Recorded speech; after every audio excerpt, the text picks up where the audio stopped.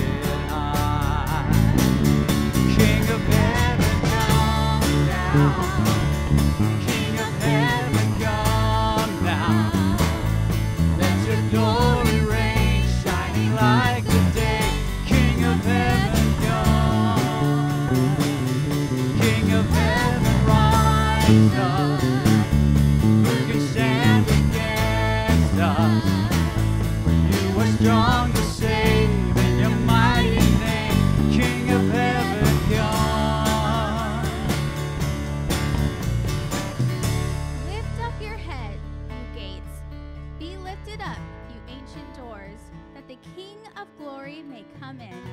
Who is this King of glory? The Lord strong and mighty, the Lord mighty in battle. Lift up your head, you gates. Lift them up, you ancient doors, that the King of glory may come in. Who is he, this King of glory? The Lord Almighty. He is the King of glory. That's right. King of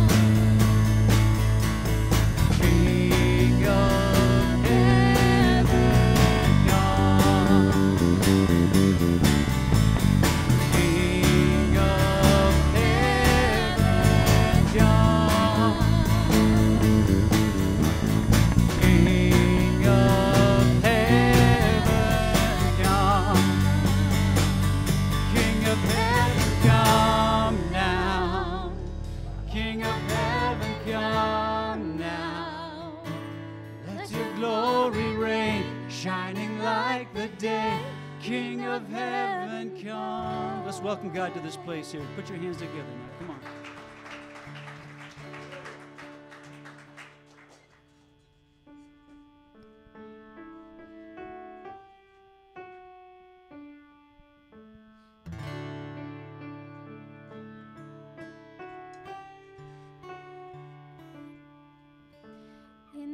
darkness you will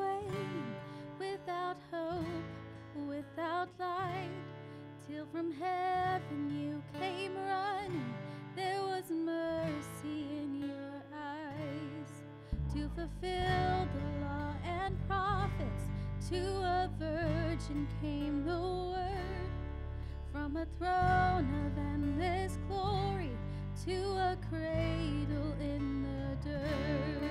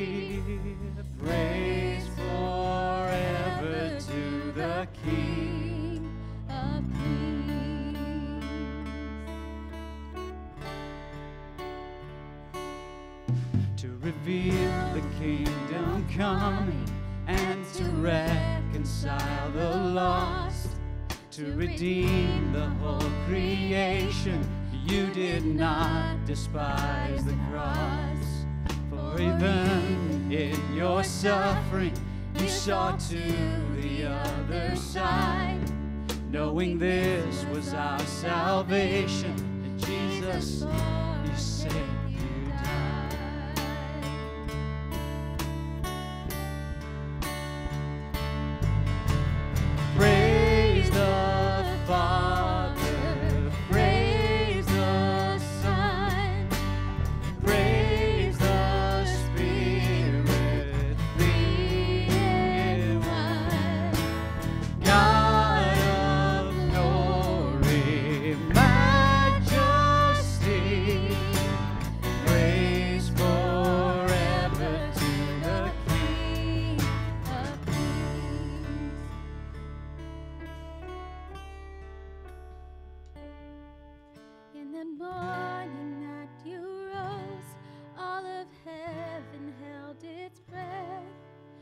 That stone was moved for good, for the Lamb had conquered right. death, and the dead rose from the tombs, and the angels stood in awe for the souls of all who'd come to the Father are restored.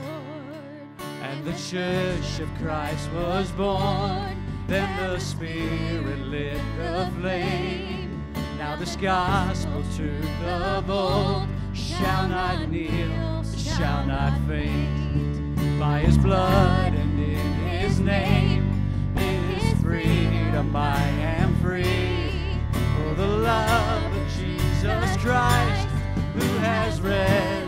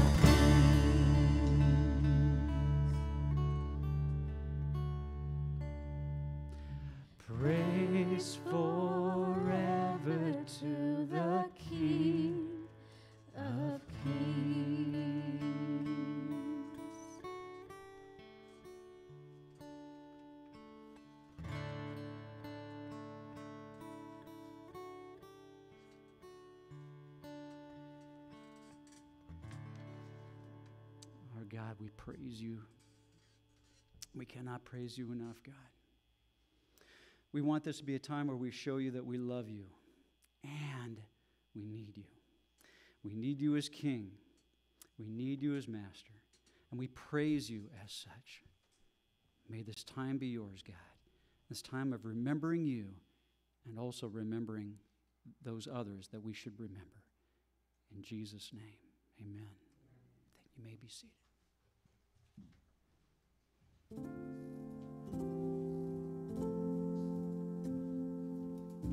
When I look back through history and consider all the sacrifices in every war, and I try to grasp it all, come to grips with it, stand in reverence of all those willing to give their lives for something bigger than themselves, I am stunned by the sheer numbers. All those lives all those families serving their country. I can't always comprehend it. My heart is not big enough to take it all in. That each one didn't come home. What they lost for their service. What we gained for their courage. Today, I stop to remember. Every single number is one soldier, one sailor who got up in the morning and put on a uniform, one Marine who answered the call to fight for freedom, one airman who knew the cost and went anyway, one man or woman who paid the ultimate price for many, and the freedom I live in now. Today, I remember.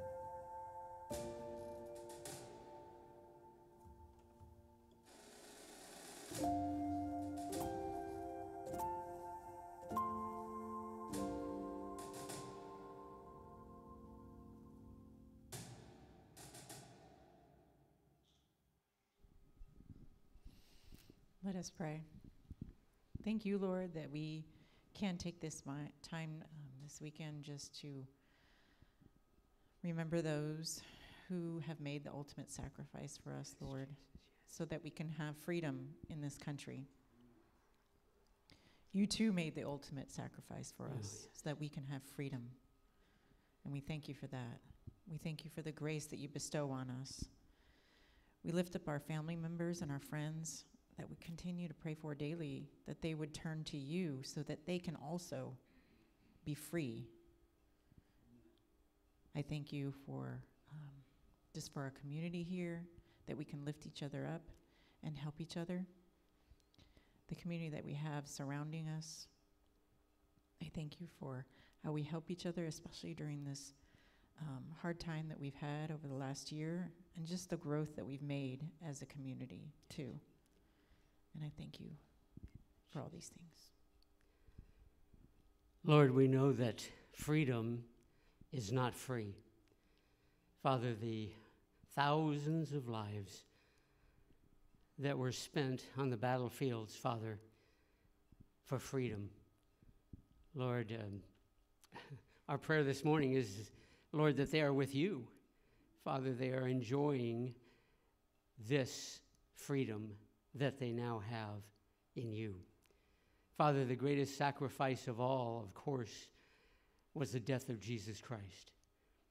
Lord, you went to the cross to die for our freedom, Lord, from sin. Lord, we are free from sin if we accept you. Father, this day is another memory, Lord, of what things have gone on in the past. Lord, it just seems to me weekly uh, we are remembering things, Lord, that not only folks have done, but that you have done. Lord, weekly we remember, Lord, how you died. Lord, we have communion, uh, Lord, to remind us of your sacrifice and your death. Lord, we have so many different things as the 4th of July is coming soon to remember an independence, Lord. Uh, there's just so many things that we are to remember. But Lord, all that aside, Father, today, may we never forget the sacrifice that you did for us to cleanse us from all unrighteousness, to take sin away from us, to bury it, that we will have the freedom to be able to be with you for all eternity. There is just nothing like it. Lord, right now I ask that you just bless each person here in this room. Bless the people next door, Father, those that may be tuning in. Lord, may they receive a blessing from you today.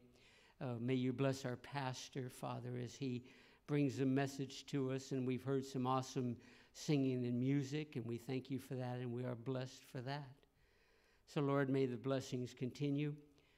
Lord, as we leave this place today, Lord, may we not forget, but may we remember and may we tell others of the awesomeness of Jesus that has been so freely given to us. For it's all done in the precious and wonderful name of Jesus our Savior. In his name we pray. Amen.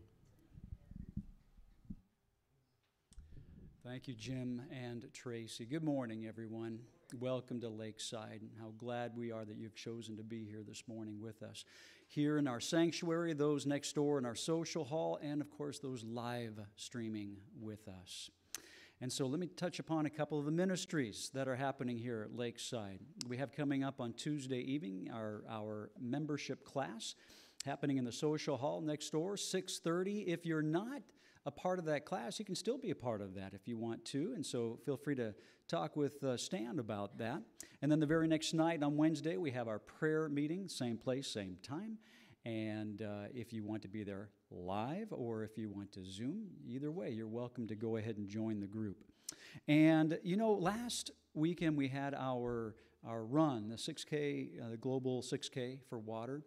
Very appreciative for those who participated and for those who donated. And you know, you can still donate if you want to, a very good cause. So if you'd like to, feel free to go ahead and talk to Jeannie or talk to, to me or Stan, and we'll, we'll, we'll get that taken care of. Also, uh, the baby bottles that you have seen in our foyer, those are to collect funds for the Crisis Pregnancy Center. Incredible ministry just to help save lives and to change lives. And so we are doing what we can to be a part of that and giving toward that particular ministry. And so if you choose to do so, you may take uh, any of those bottles and then just put uh, whatever change or money in there, and we will collect those by Father's Day, Sunday, and then go ahead and pass those on.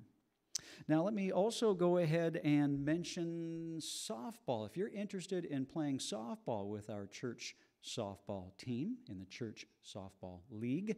Feel free to go ahead and talk to, it'd have to be Joseph uh, Hernandez today because Todd's not here. And so talk to Joseph, our awesome drummer, uh, if you are interested.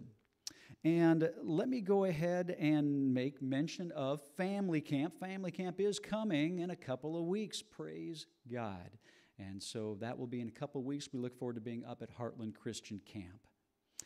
Finally, let me make mention of some birthdays coming up. And so uh, June is right around the corner. And so uh, we have uh, Carol Ferris, who has a birthday. Maria uh, Luna, or Laura, pardon, pardon me, has a uh, birthday. And then Anna, who is back in the States. Praise God. Uh, she has a birthday coming up on the 3rd. So happy birthday to those individuals. And so now let's have our missions moment time. I will have Jeannie and Ruth come on up and share what's going on in that ministry.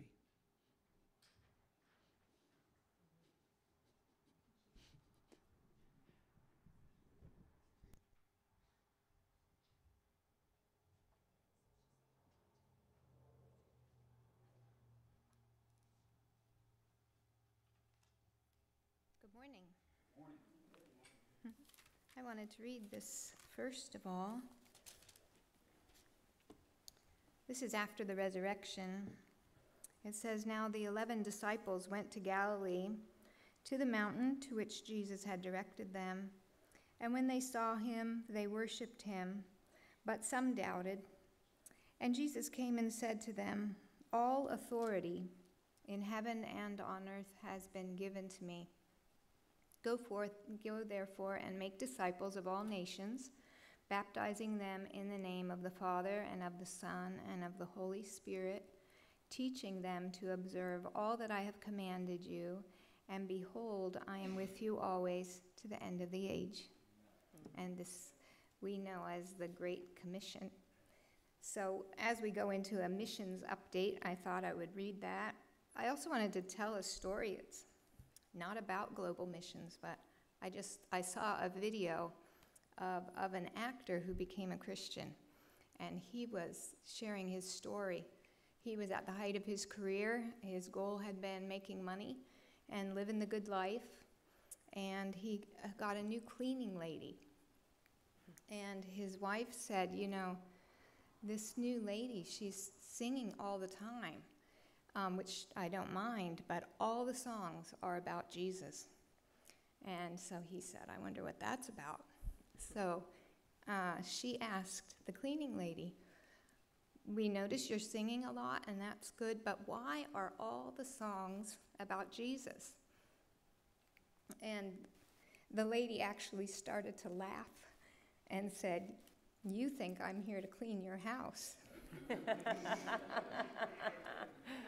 and she went on to tell them, You are both going to become born again Christians and have a ministry together, which was the farthest thing from their minds at that time, but it did happen. So I want to encourage you in our daily lives, in our work, to be a witness. Um, that's our part of the Great Commission. And uh, another part of the Great Commission, of course, is the support that we can give to the people who are global. And I, you know, I don't have it figured out, but I wonder how much um, money we um, uh, give each day as a church to the support of missions. And um, it's, it's a good amount and uh, so encouraging that we have that kind of a heart here for what God is doing in the world. So um, I just have a brief update on two people. Um, I think the first is Sarah Kane. Um, Sarah is, is in Thailand, where she grew up. Her parents were missionaries there as well. And um, she's with a ministry called Remember Nhu, if you um, recall. Uh, it's a ministry to help children not fall into human trafficking. It's a prevention ministry, and it takes children who are at risk and gives them safe homes, um, medical care, education. Um, and uh, Sarah's specific job is to mentor uh, students post high school, students who are in university or in vocational training, and they will be able to avoid the trap of human trafficking by having a way of supporting themselves. So it's a wonderful ministry. Um, specific prayer for Sarah um, right now is they have closed Thailand again um, because of COVID. And what that means is she is not, as, a, as an, a foreigner, she's not allowed to go to the children's homes. Um, and that means two, th- a couple of things. She's very isolated. Um, her roommate room, uh, went to a, a, new country recently, so she's living alone. Um, and so just pray for her not to feel alone. Um, and that uh, there is a new roommate scheduled to come this fall, so um, just pray for that to go smoothly. Um, she is able to continue the ministry with her students, you know, via the phone and, and other um, internet options. Um, but she also asks for prayer for the people that, um, the Thai people who are now running the homes without extra help and encouragement.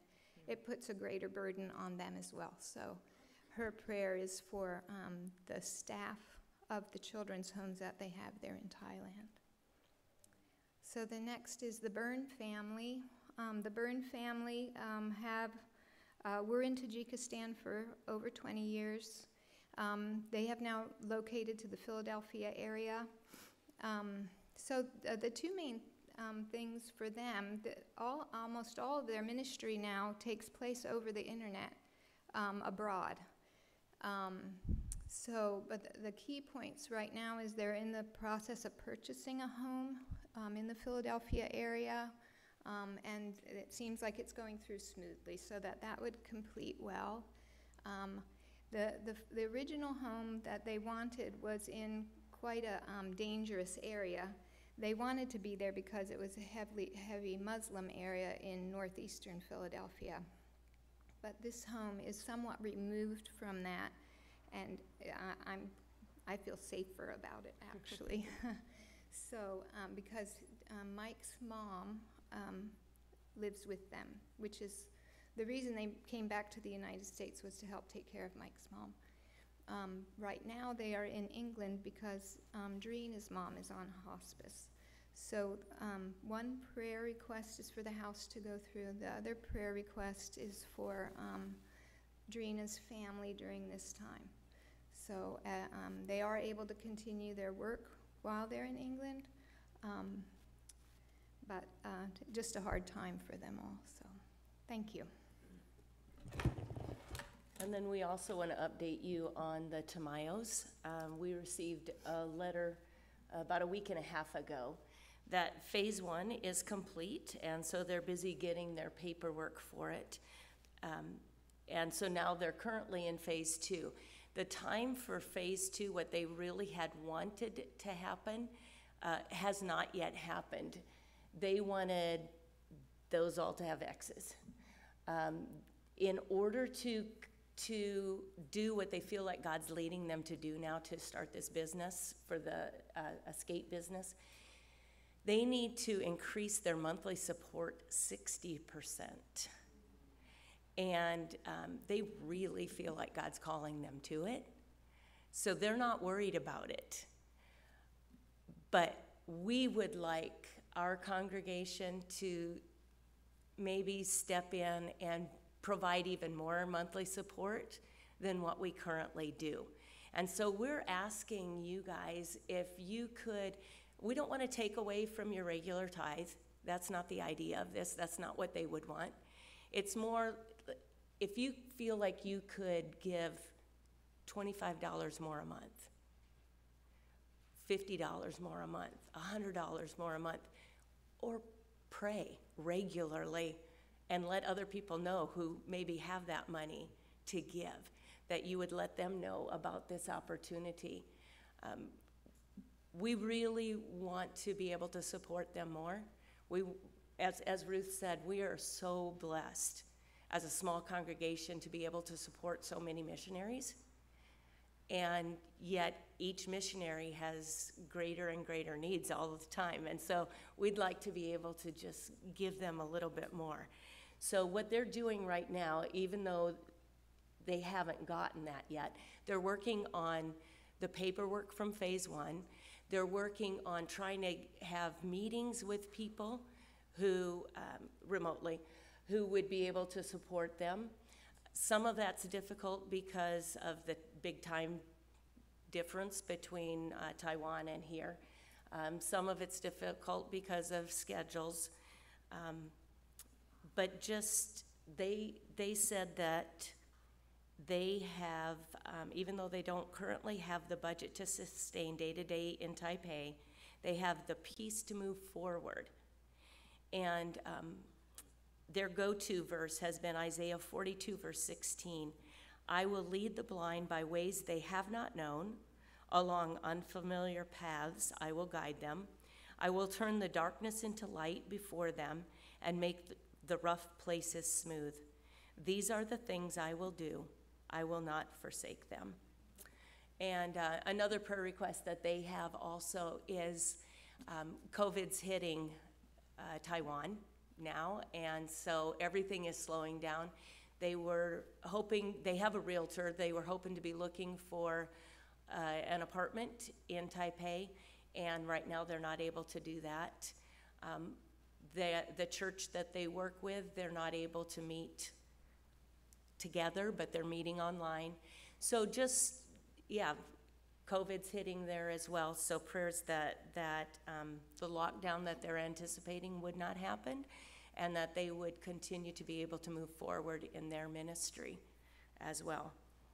And again, if you do desire to give to, specifically to them, um, like what I do when I'm giving to missions is I'll add it to my regular tithe, and then in the memo, I put the amount that's for missions. So you can just add it and, and put it in mission, in the memo, what part you want to go to them or to the Burns family or any of the particular ones. Okay, thank you very much.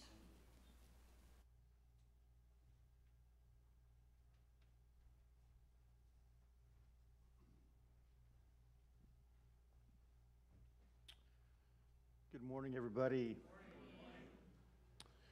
So, so Ruth, I, I appreciate what you shared because um, about that actor. I was actually at a conference years ago, um, and this actor was being interviewed by Rick Warren, and he shared that very same thing. It was really cool. I was like, wow, that's awesome. I just recently found out there's another actor. I can't remember his name, but if you saw his face, you're like, oh, yeah, I, I know who that dude is. He also is a Christian, and um, usually he plays a villain on a TV show or whatever. But uh, for the past three years, he hasn't gotten any work because he's a Christian. And he will not allow himself to do certain scenes because he does not want to dishonor his Lord and his wife. And so, um, but if you, if I, I wish I had a name. That way you can look for him. Uh, but anyway, he's a pretty cool dude. Memorial Day, I was, you know, looking at that video and seeing all those numbers of men and women who lost their lives in war. That's crazy, isn't it? And it makes us realize how fortunate we are that we live in a country that people who would risk their lives for, and again, all the families that were affected by that. And it's all because of sin, isn't it? All because of sin. Anyway, I'm excited to give this message this morning. Although I'll, I will tell you, for whatever reason, this past week, I felt like Jacob battling the angel of the Lord with this message. I even started on Monday and I just finished it like two hours ago. The whole week, man, it just I was banging my head. and I'm like, Lord, why is this message so hard to come together? Well, maybe there's a reason for that this morning, and I'm hoping that you will see it. So, anyway, we have been looking at this long anthem of praise from Paul, from verses 3 to 14. We're going to focus on verses 11 through 14. And again, remember, Paul's in prison when he's writing this letter. When he's writing these things, he's in prison. Now, if I'm in prison, I'm not probably thinking like Paul. I'm pretty bummed out, like, get me out of here, or whatever. But um, he's so locked into the Lord that to be able to come up with the things that we've been focusing on is a mind blower. So let's continue to look at this mind blower in regards to Ephesians 1, verses 11 through 14.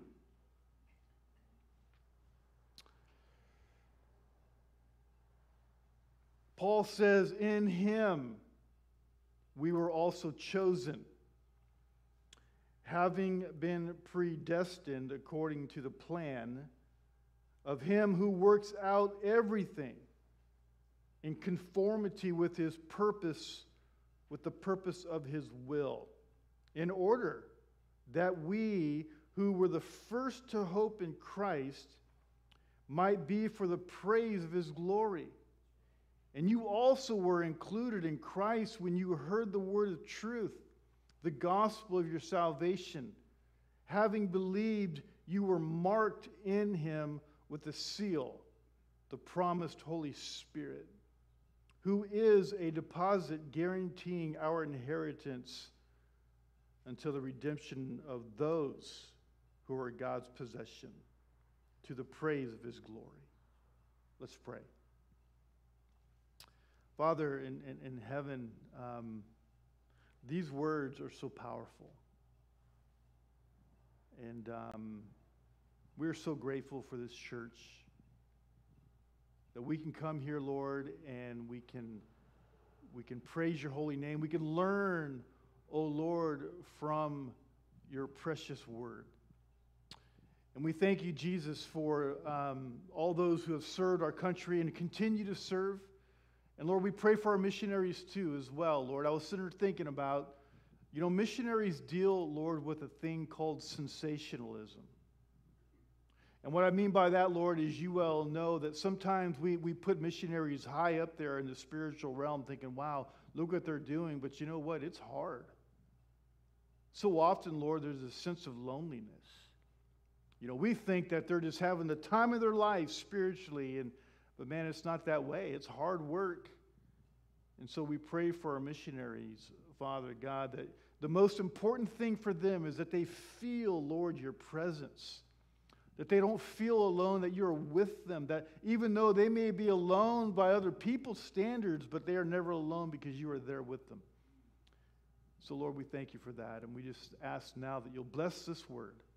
In the name of Jesus, amen. I have a weird favor to ask, not maybe a favor, but a kind of a, a, a thing that's already driving me nuts. Can we turn that fan off back there off? I say that because some, when I come in here and pray, sometimes I'll turn the fans on.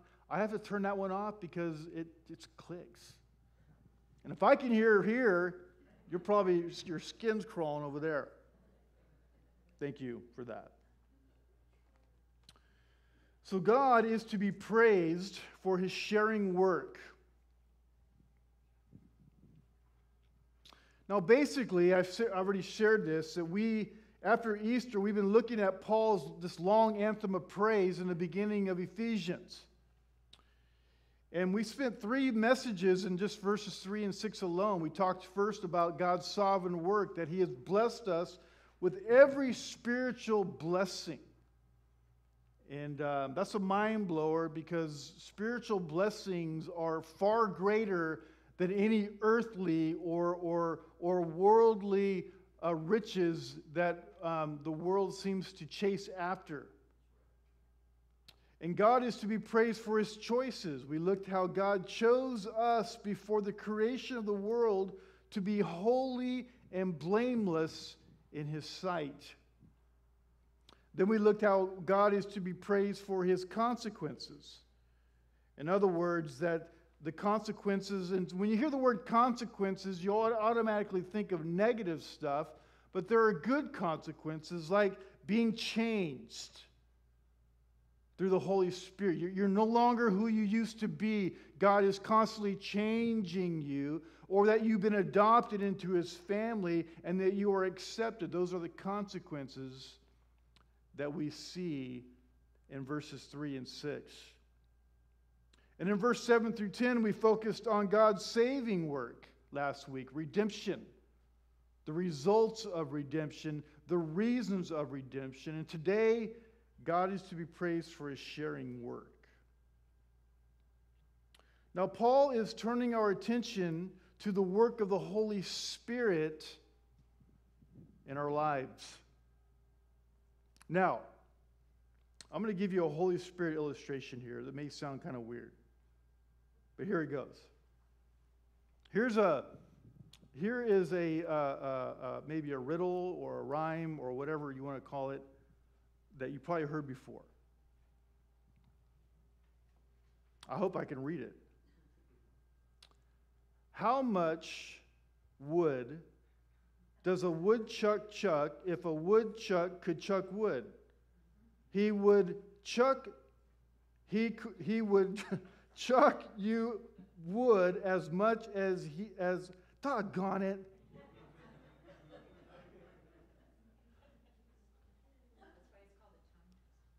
Yes, I'm going to start over. How much wood does a woodchuck chuck if a woodchuck could chuck wood? He would chuck you wood as much as he could and chuck as much wood as a woodchuck would if a woodchuck could chuck wood. Woo! Now, doesn't that, didn't that, yeah. now, didn't that change your life just now? It's called a tongue twister, as Tracy had said, designed to display the use of the same word over and over and over again. Now, I don't have this on the screen, but here's a scripture that could be a tongue twister.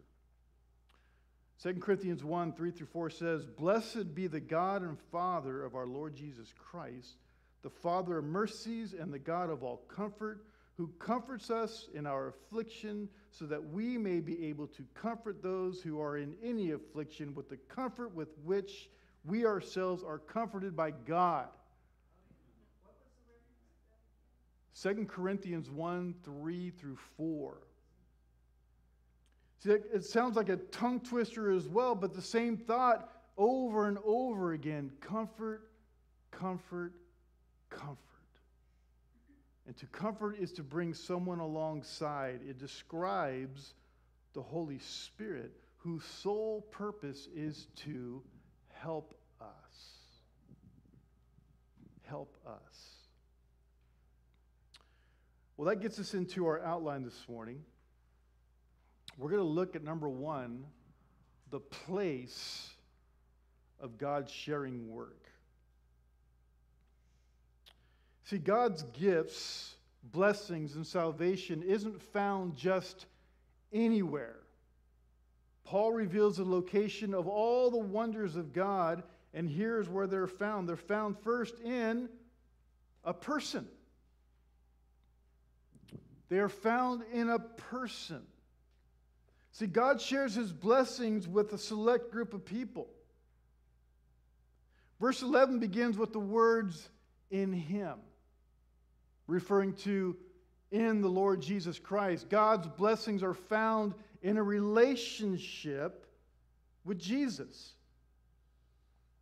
Now, everyone in the world, whether saved or lost, enjoys some of God's blessings, like air. Everyone gets to experience air or water or food or life or the world and so on. All these things are given to all men.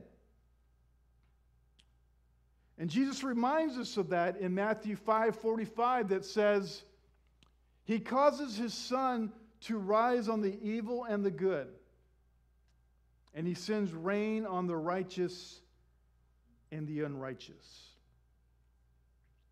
Both those common blessings end, though, at the door of salvation.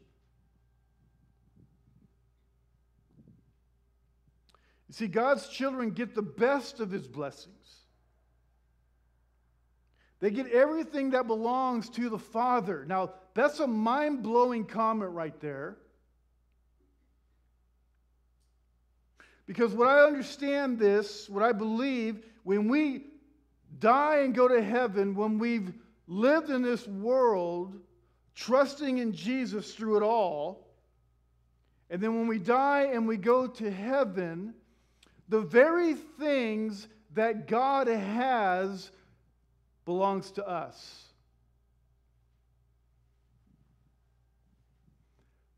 There is no way, see, see, that's trying to comprehend that God's never been created. That hurts your head if you try to think through that. That's the same thing. Because we think, well, you know, I'm going to get to heaven and God's going to be up there. He's always going to be God, and that's cool. And, and, and, and, and we're going to worship Him. We don't know what that looks like. But God says, what belongs to me will belong to you.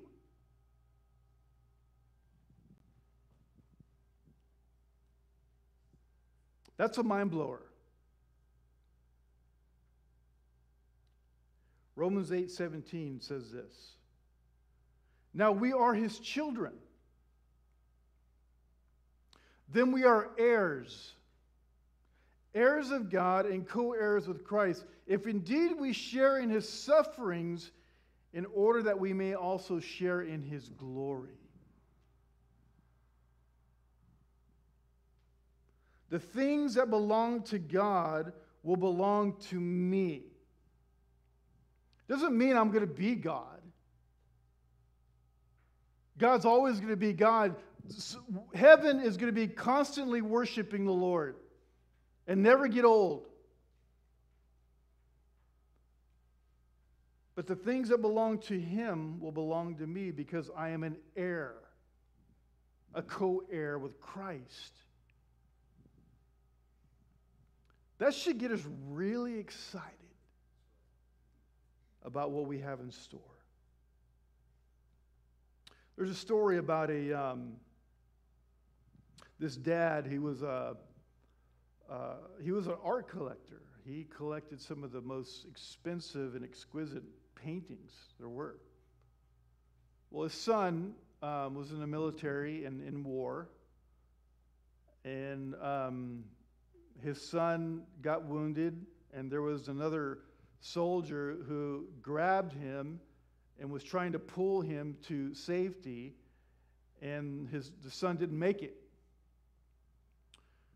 Well, there was another guy who, who kind of watched it all happen, and this guy was relatively good at drawing.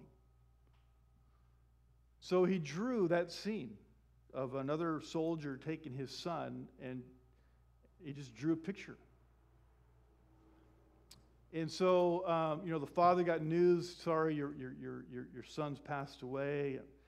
But the soldier comes and he goes, hey, you know, um, I drew this picture of your son being helped.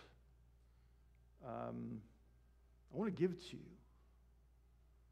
This father was so appreciative and so excited that top of his a wall on top of his uh, over his fireplace was this expensive awesome painting. He takes it down.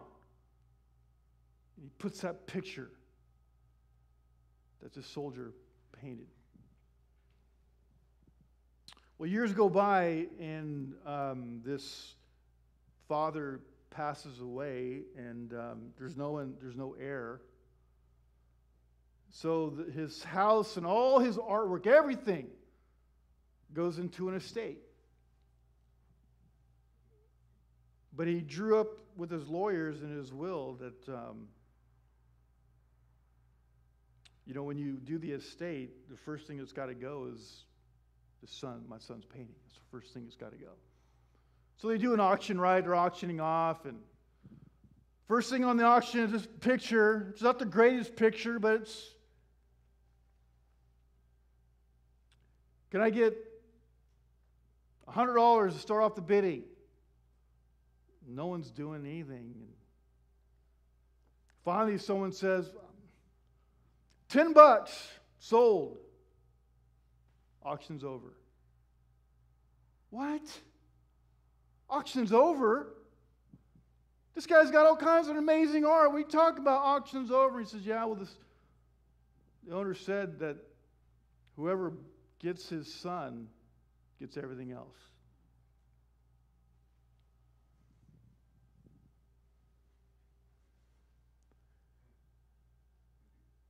You see, when you get the Son, Jesus Christ, in your heart, you get everything else.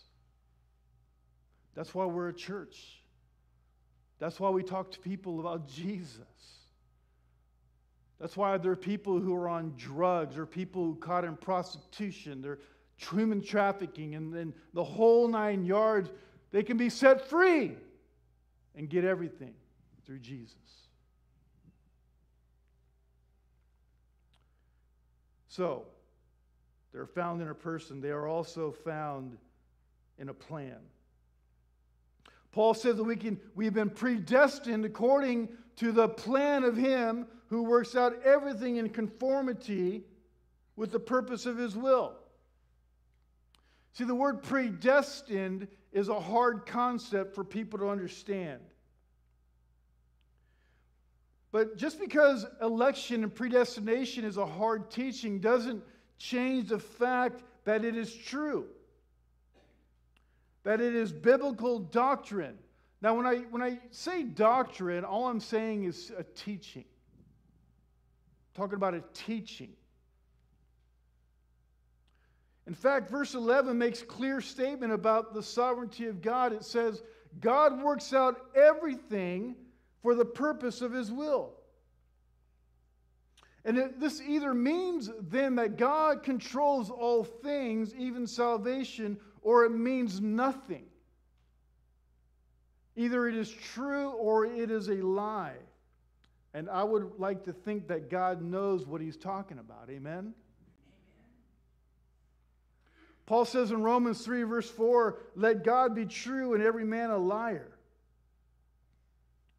And so predestination simply means appointed or, or destined. See, God's pl- made a plan for his people sometime in the past. And the difference between election and predestination is that with election, God determines who will be saved. Predestination determines those saved will experience certain things. See, election has to do with salvation, predestination has to do with sanctification. And sanctification is another word for constantly becoming more holy through your, your Christian experience of life. An election is about God's choice, predestination is about God's changes. An election has to do with eternity, predestination has to do with time. So, God's work in every child's life so that they will experience a changed life here and an eternal life later. In Psalm 37 23, it says, The Lord makes firm the steps of the one who delights in him. Though he may stumble, he will not fall, for the Lord upholds him with his hand. I am so grateful that the Lord determines my steps. Because in the complication of life, I need to know that someone's holding my hand and leading me the right way. See, God has an ultimate plan for each of his children. In the meantime, he orders life's events to make us more like Jesus. We forget that, don't we? Things happen to us, we're like, oh man, why God let this happen?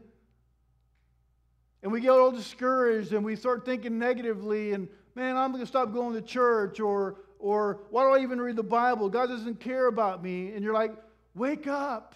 He's trying to make you like Jesus right now in this situation. That's why He saved us. So that we can become more like Jesus. That's the ultimate goal. That's what Adam and Eve had before they sinned. They were like Jesus, they were perfect. And God's like, I'm giving you an opportunity to experience what they had and for all eternity. That's the goal. To be more like Jesus, not to make more money, not to get a best job or a nice house or a nice car or whatever. Those are just byproducts of the blessings of the Lord, is to be more like Jesus. That's why He saved us. And when we leave this world, God has predestined us to live with Him for eternity in His home in heaven. And that is what biblical predestination is all about. God has a plan, and He's working that plan every single second of time. And being a part of God's eternal plan is the only way to enjoy the best of His blessings. Well, then we see that they are found in his pleasure. See, verse 11 again says that his children are chosen, predestined according to his plan and purpose of his will. But verse 12 says, for the praise of his glory.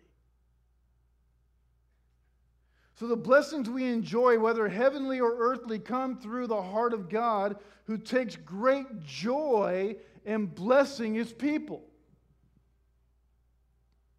And God is so good because he simply wants to be.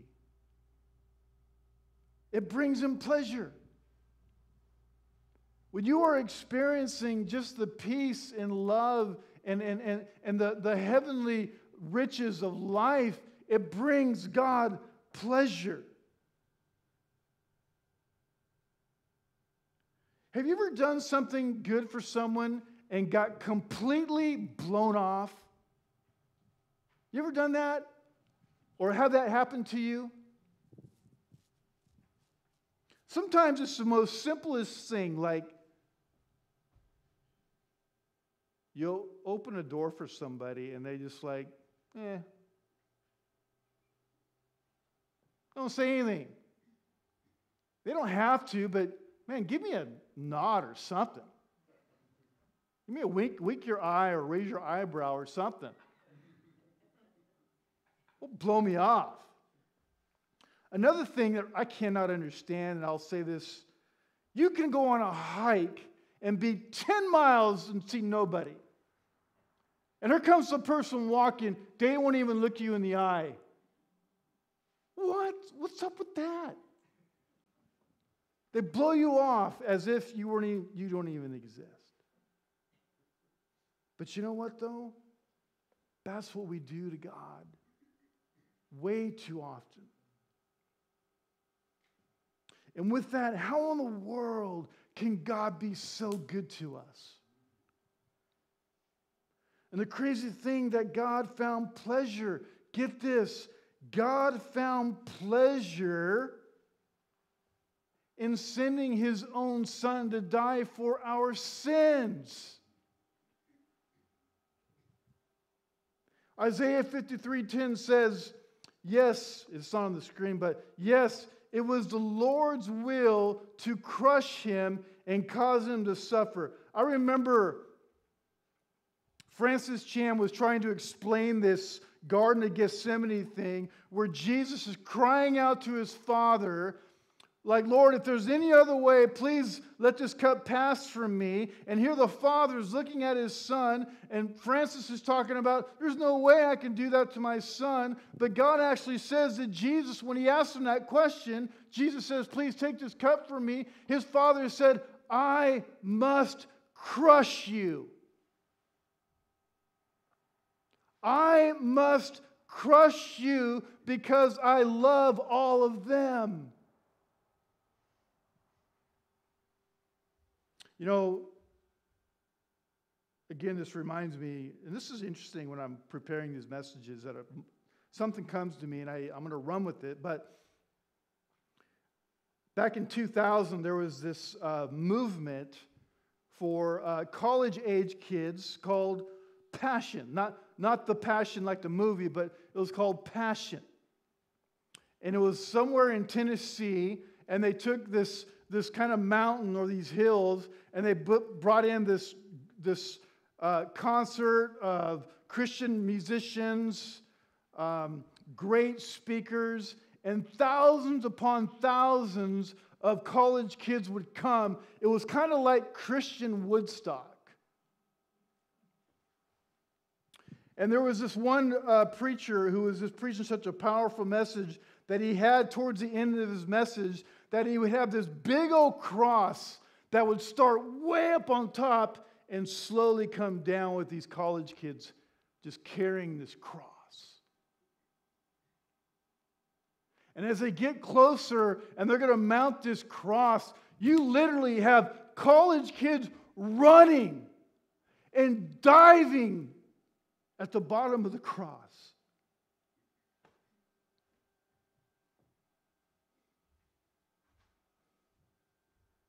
because they were understanding what Jesus had to do, that his Father had to crush him for them.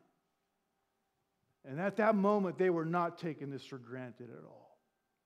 I still love that image of the running and diving to bow the cross of Jesus Christ. Now, the second thing here is the purpose of God's sharing work. And Paul reveals two purposes of this. The first is to reveal his glory through us. Verse 12 says again, We who were the first to hope in Christ might be the praise for his glory. In other words, God saved us to reveal his glory through, through, or excuse me, God saved us to reveal his glory through us to a lost world.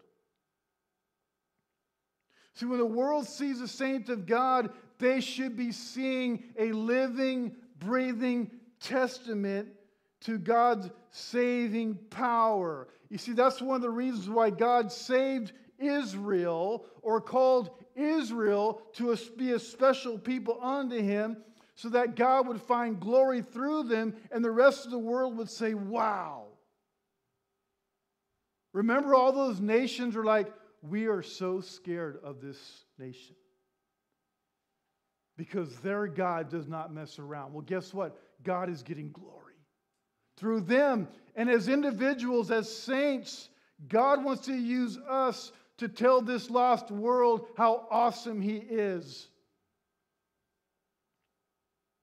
Ephesians 2:10 says, "For we are God's workmanship, created in Christ Jesus to do good works which God prepared in advance for us to do."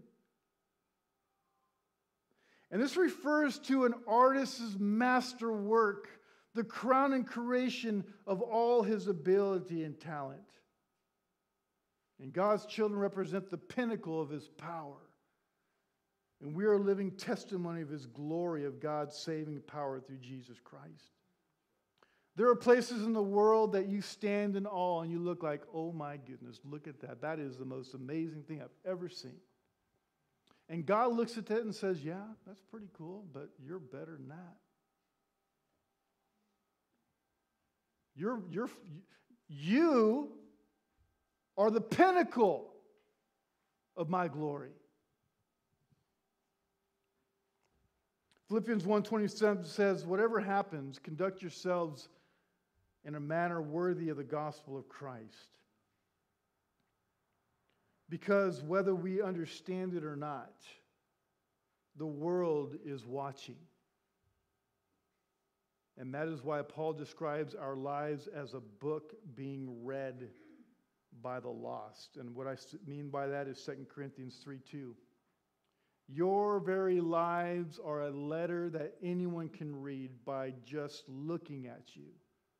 Christ himself wrote it, not with ink, but with God's living spirit. See, when the world reads our lives, what do they learn? What are they learning out of our letters of life? Do they, do they learn that Jesus changes every life he touches? Or do they learn that he makes no difference in the lives of men? And when they read us as Christians, they should see people who are different they should see people who are spirit filled and who live every minute under the direction of Almighty God. They should see people who talk and walk and act different than they are. And do they see when they read your book? God saved you for his glory. So the question for us is are you bringing God glory today?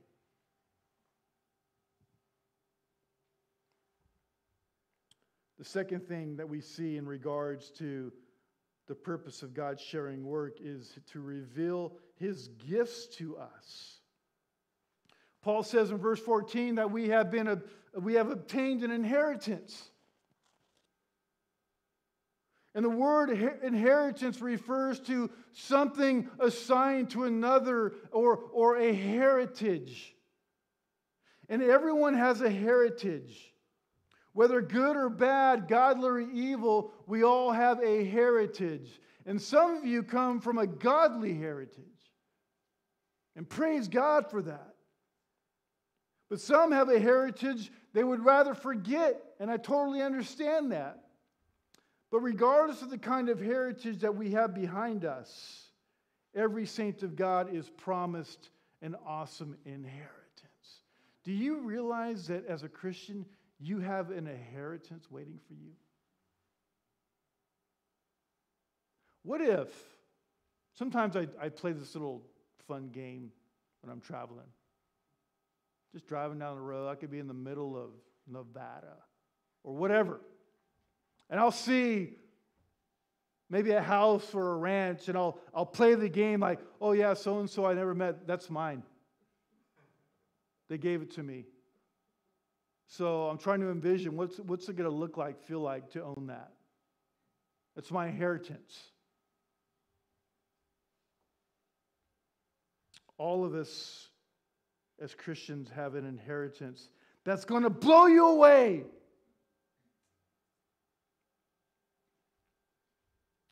What are some of the characteristics of what we have now as Christians? We have love, peace, grace, wisdom, eternal life, joy, victory, strength, guidance, power mercy, forgiveness, righteousness, truth, fellowship with God, and so many more. Peter says there's more to come. And he says this in 1 Peter 1 3 and 4. Praise be to the God and Father of our Lord Jesus Christ. In his great mercy, he has given us a new birth into a living hope through the resurrection of Jesus Christ from the dead and an inheritance that can never perish or fade, kept in heaven for you. And if we can just live our lives from this moment on, realizing that we have far greater things waiting us in the future, it would help us deal with stuff right now. See, not only is there a place and a purpose, but there's also a promise. And that's the last part of our message, our last main point the promise of God's sharing work. You see, the Holy Spirit brings us to Jesus to be saved, and the Holy Spirit keeps us engaged in our relationship with Jesus. And you see the promised Holy Spirit being played out in people's lives.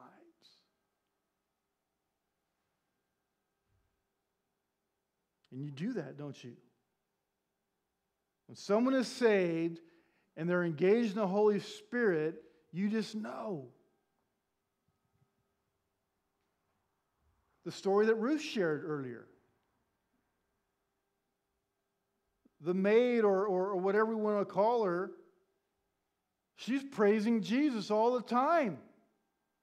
She's saved. She has the Holy Spirit living inside her. And guess what? This actor and his wife notice.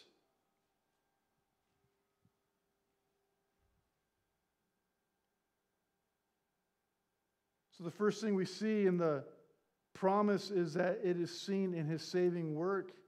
Paul talks about the way God saves sinners. Verse 13 says, You were included in Christ when you heard the word of truth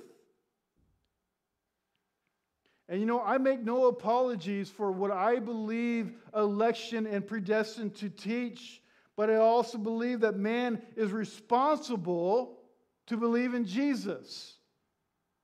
Paul tells us that we must trust in Jesus after hearing the word of truth.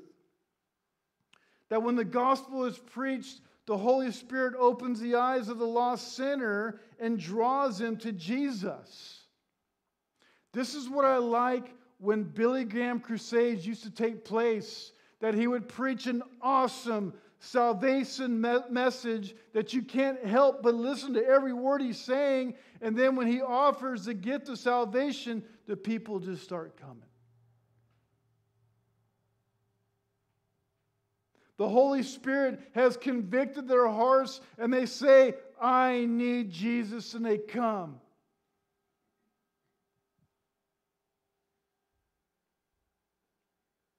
It's seen in his saving work, and it's also seen in his sealing work. Having believed, you are marked in him with a seal, the promised Holy Spirit. See, when Paul says that we are sealed, he's using a reference during his time. And if you've seen old fashioned letters, or important documents were sealed with hot wax. The sealed document carried the authority of the person who owned the seal. And God uses a spiritual seal in regards to his children. And the seal of God's Spirit represents four great truths. First is security.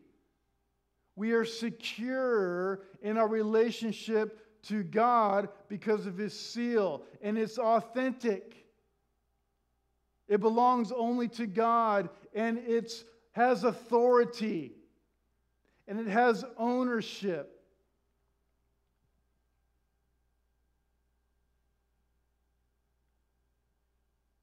When you're a Christian, you have an invisible spiritual mark on you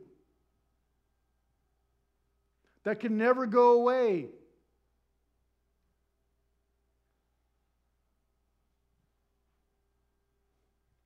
And then it is seen by his securing work.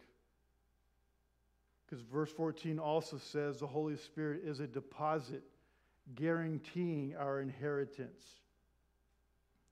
So we all pretty much understand the meaning of the word deposit. It's like a down payment on a car or a house, and it's a promise that you are good for the rest of the money. And you pay back little by little until the car or the house is paid off. But when Jesus died for your sins, he paid for our redemption already completely.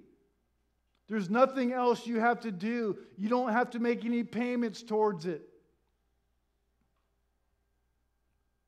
When we were saved, the Holy Spirit came into our hearts, confirming that we are purchased, paid in full, and Jesus bought us, and He sent His Spirit to live within us to mark us as His property until the day comes when He will take us home. And the presence of the Holy Spirit in our lives is proof that we are headed to heaven. And here's another just really quick reference that I think maybe sends the message home or helps you understand a little bit more. Guarantee is the same word to speak of an engagement ring. When a man gives a woman an engagement ring, he is making a pledge to that woman. He is promising to be faithful, to love, and to take her to himself one day. And that is what the Spirit of the Lord promises us when He saves us. He promises to be faithful, to love us, and to take us to heaven with Jesus. Well, let me conclude then with this. God has blessed us in Jesus and has opened the vaults of heaven. He has given us greater riches in Jesus than we can ever possibly imagine. And if we really understood this, we would leave this place and we would talk nothing about Jesus and heaven and spiritual things for the rest of your life. Now, in every church setting, there are three different types of people those who understand some of what they possess in Jesus, those who are beginning to understand what they have, and those who still have not trusted Jesus for salvation. And if that is you, you need to come to Jesus. Because as right now, this earth has been your heaven.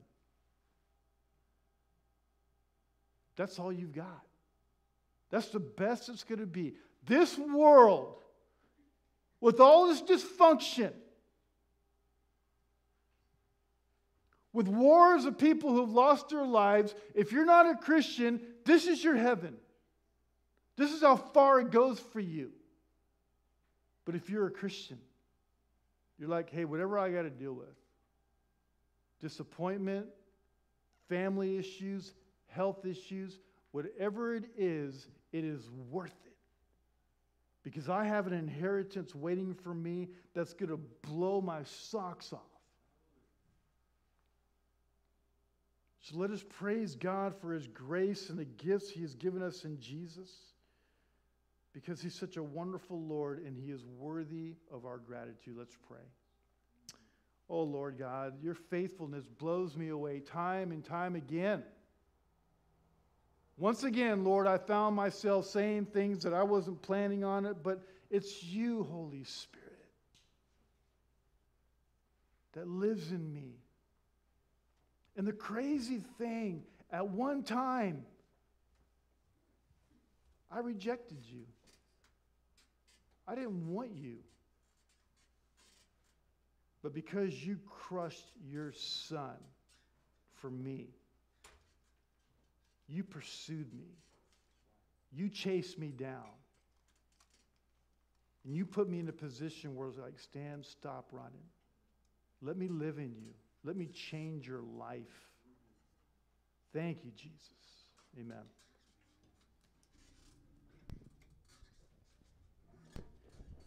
Come on now, friends. How can we not be fired up about that? So uh, we must respond, and we must respond joyously with the wonderful understanding that our lives are meant to be lived for the glory of God. Would you stand, please?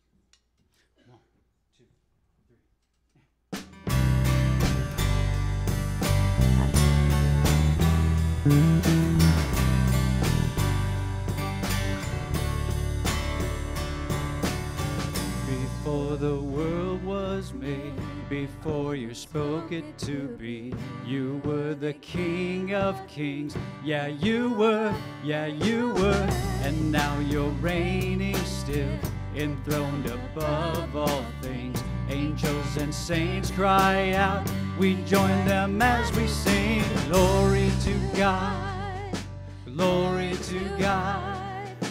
Glory to God forever. Glory to God. Glory to God. Glory to God forever. That's right.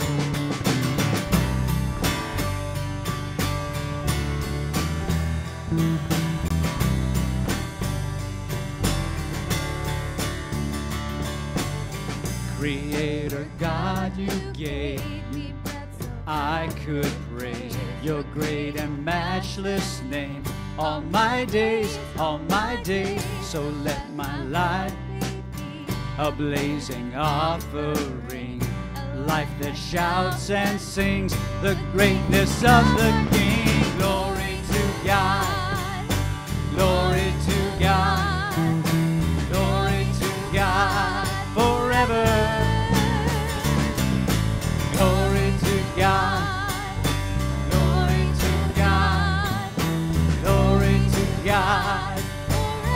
sing now. Take my life. Take my life and let it be all for you and for your glory. Take my life and let it be yours. Take my life and let it be all for you and for your glory. Take my life and let it be. All right, so we sing glory now. We sing glory to God. Glory to God. Glory to God. Forever. That's right. Sing again now. Glory to God.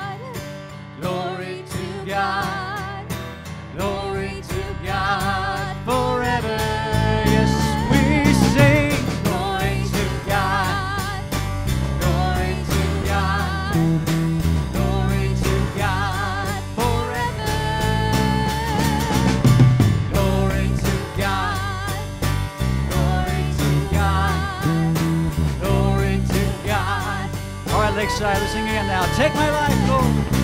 Take my life and let it be all for you and for your glory. Take my life and let it be yours, be yours. Take my life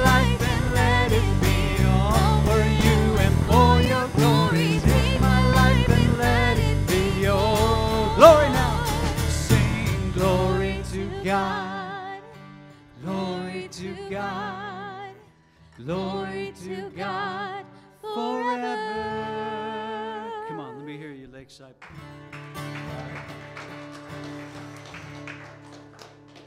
Thank you, everyone, for coming. You know, there's something about Memorial weekends or maybe Labor Day weekends or whatever that they're just gives you an opportunity just to kind of chill and just enjoy the freedoms that we have in this country. And so I just pray, you know, all of us, we carry stuff on our shoulders, right?